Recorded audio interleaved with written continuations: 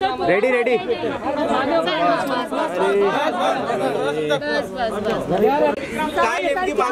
अरे मोबाईल नीचे लो ना भाई थोड़ा.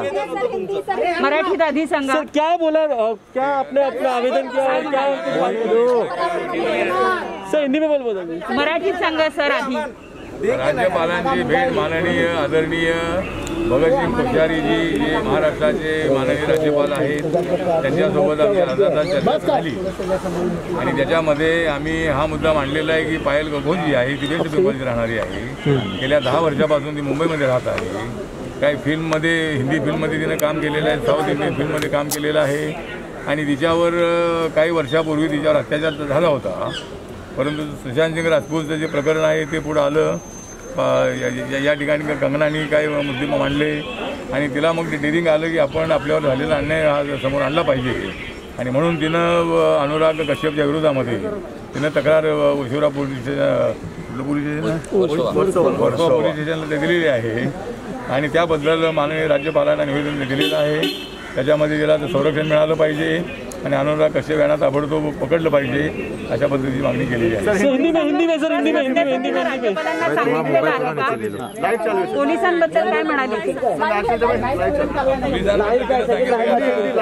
आठ दिवस झालेले आहेत आणि आठ दिवसामध्ये अद्याप ती अनुराग कश्यपला पकडलं नाही. आहे. त्यानंतर तिथं जे मॅजिस्ट्रेट जे जे मॅजिस्ट्रेट समोर जे स्टेटमेंट घ्यायचं आहे ते अजून राहिलेलं आहे. ते घेतलं पाहिजे तर माननीय राज्यपालांनी सांगितलं की मी गृहमंत्र्यांना बोलतो. आणि तिनं सांगितलं की मला भीती वाटते आहे. मला अनेक लोकांचे फ़ोन येत आहेत की तुझ्या जीवाला धोका असण्याची शक्यता. आहे मला काय त्याचा कोणाचा फ़ोन आला नाही परंतु मला संरक्षण मिळालं पाहिजे अशी तिची मागणी आहे. आणि पकडलं पाहिजे आहे. सर हिंदी में हिंदी में.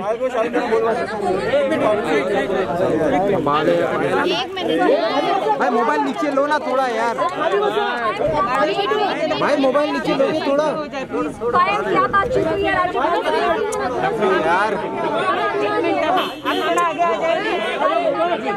बोला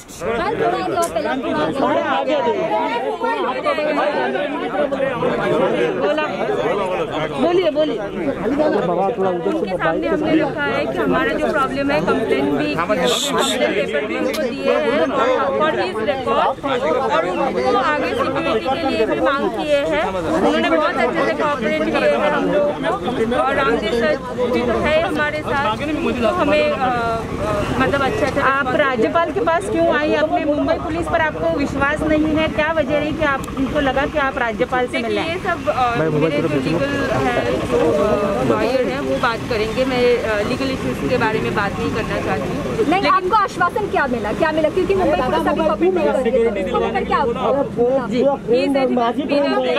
बारे में हाँ। तो उन्होंने बोला है कि जो भी आगे करना है हम अपने मेरे तरफ़ से तुम लोगों को सब कुछ। और और क्या बातें हुई? आपने बताया क्या? ये बात को क्या हाँ, सर ने भी बात की सर सर से पूछा आपने। हाँ हाँ। वही बात पायल कल आपने रिचर्ड चड्ढा के खिलाफ भी कंप्लेन फ़ाइल करवाई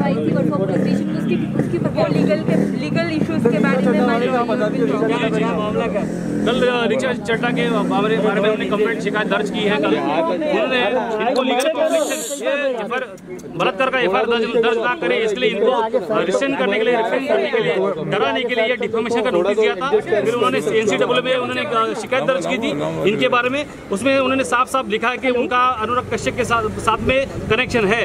और अगर ये कनेक्शन है फिर इनको नोटिस क्यों भेज रहे? अगर इसमें तीन महिलाओं को इन्होंने नाम लिया था जो आरोपी ने इनके सामने ब- बयान किया था। तो दो महिला जो थी उनको तकलीफ़ नहीं इसको तकलीफ़ हुई है क्योंकि इसका उसके साथ में कनेक्शन है और ये हमको क्रिमिनल इंटिमिडेशन कर रही है हमको धमका रही है ताकि तुमको लीगल कॉम्प्लेक्शन में अटका देंगे तुम एफ़ मत करो आगे मत जाओ और आरोपी के खिलाफ कोई एक्शन ना लो। ये सब उसकी कोशिश है ना नाकामयाब कोशिश है आरोपी की तरफ़ से। उसने अपना एक मोहरा एक प्यादा आगे किया है कि ताकि पायल घोष डर जाए और अपने पीछे हो जाए। लेकिन हम डरने वाले नहीं है आगे बढ़ गए हैं बिल्कुल नहीं। देखिए मैं नहीं सब मुझे बोल रहे हैं कि जैसे कि ये ज़्यादा सेफ़ नहीं है, बहुत रिस्की हो गए को हाँ हाँ इसी के लिए बात किए है। तो गवर्नर साहब और थैंक यू है हिंदी हिंदी हिंदी अरे अरे अरे बहुत डरने वाली भी नहीं है हारने वाली भी नहीं है तो हम सब लोग उनके साथ है और जो अन्याय हुआ इस अन्याय के संबंध में उनको न्याय मिलना चाहिए जिन्होंने अत्याचार किया उनको बड़ी सजा मिलनी चाहिए और और राज्यपाल से हमने बात की है और राज्यपाल ने आश्वासन दिया है कि वो गृह मंत्री से बात करेंगे मुख्यमंत्री जी से बात करेंगे और इस केस में आपको संरक्षण देने के बारे में ज़रूर विचार करेंगे और जो अन्याय हुआ है उसके लिए ज़रूर है महाराष्ट्र के प्रमुख राज्यपाल के नाते मदद करेंगे। कंगना की तरह क्या पायल को भी कैटेगरी की सुरक्षा की मांग कर रहे हैं आप लोग हाँ, मतलब में। सर, राज्यपाल ने है। बोला है कि मैं सरकार से बात करता हूँ और ज़रूर मतलब अगर आपको डर है तो ज़रूर आपकी सुरक्षा के लिए ज़रूर इंतज़ाम किया जाए थैंक यू सर और Thank you, sir. गवर्नर ने मुझे बोला है कि तुम हमारी बेटी हो और इसको इस लड़ाई को आगे लेके जाना रुकना मत। तुम तुम्हारे साथ। पता है ना क्या होता है? आप लोग है। कोई आवाज़ नहीं है। शायद हो सकता है मैं अभी अभी अभी इसका मामला है। गिरफ़्तार करेंगे। एक बड़ा पोर्टल मुझे पहले मेरे से इंटरव्यू लिया था लेकिन उन लोगों ने छपाया भी नहीं था।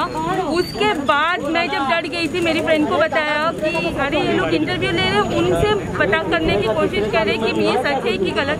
तो तो फिर मुझे भी ऐसे यानी यानी कुछ चैनल लटका देंगे। पोर्टल पे वो लोग कोई चैनल नहीं एक पोर्टल है जहाँ पे उन्होंने मेरे पास मेरे मुझसे सब कुछ जानने के बाद उनको इन्फॉर्म कर दिया थैंक यू